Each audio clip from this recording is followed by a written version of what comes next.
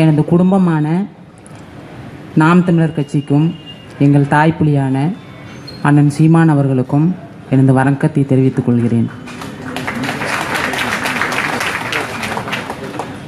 உங்களுக்கு நன்றாக தெரியும் ரெண்டாயிரத்தி பதினாறில் மிகப்பெரிய ஆளுமையாக காட்டப்பட்ட ஜெயலலிதா அவர்களுக்கு எதிராக ஒரு பெண்ணை நிறுத்தவில்லை.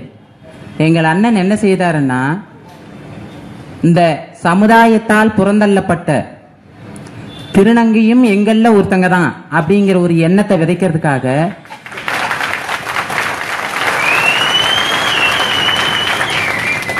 என்னை பட்டை தீட்டிய வைரமாக நிற்க வைத்து அந்த ஆளுமையை சாய்க்க செய்தார். இதுதான் உண்மை. மறுபடியும் அண்ணங்கிட்ட ஒரு வாய்ப்பு கேட்குறேன் நான். திருவாரூரில் ஒரு தடவை என்ன நினைக்க வைங்கண்ணே எனக்கு நான் விரும்பி கேட்குறேன் அப்படிங்கிற மாதிரி. அதனால் எவ்வளவோ உங்களுக்கு எல்லாம் நல்லா தெரியும். இந்த ஆர்கே நகர் மக்கள்கிட்ட கேட்கறது ஒன்றே ஒன்று தான் நம்ம வீட்டில் எல்லா மேடைகள்லையும் நான் தொடர்ந்து இதை நான் உங்கள்கிட்ட வலியுறுத்துறேன் எல்லாருக்கிட்டையும் மக்கள்கிட்ட. இந்த ரெண்டு கட்சிகளும் நன்றாக திருடுகிறார்கள் அப்படிங்கிறது உங்களுக்கு நல்லா தெரியும். நம்ம குடும்பத்தில் குழந்தைங்க வந்து தப்பு பண்ணுச்சுன்னா நம்ம அடித்து திருத்துறோம். பொய் பொய் பேசக்கூடாது திருடக்கூடாது அப்படின்னு சொல்லிட்டு.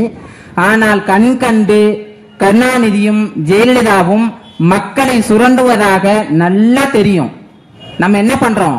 அந்த திருட்டுகளை பெருசா எடுத்துக்காம மறுபடியும் மறுபடியும் அவங்களையே வெற்றி பெற வைக்கிறோம். இது எங்க கொண்டு போகுது அப்படின்னா இந்த மாதிரி இன்னும் அந்த வாக்குக்காக கையேந்திர அந்த சூழ்நிலையை உருவாக்குது.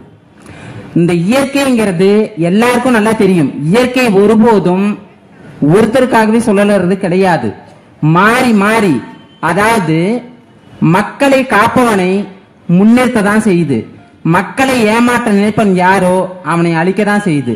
மாறி மாறி சுழன்று கொண்டே இருக்கிறது. இது உங்களுக்கு நல்லா தெரியும். அதனால இயற்கை ஒருபோதும் தவறானவனுக்கு வழிகாட்டியாக அமைவதில்லை. அதுபோல அண்ணன் சீமான் இப்போது நம்மளுடைய கையில நமக்கு கையளிக்கப்பட்டிருக்கக்கூடிய ஒரு மிகப்பெரிய வரம் அப்படின்னு தான் நான் சொல்லுவேன் நான்.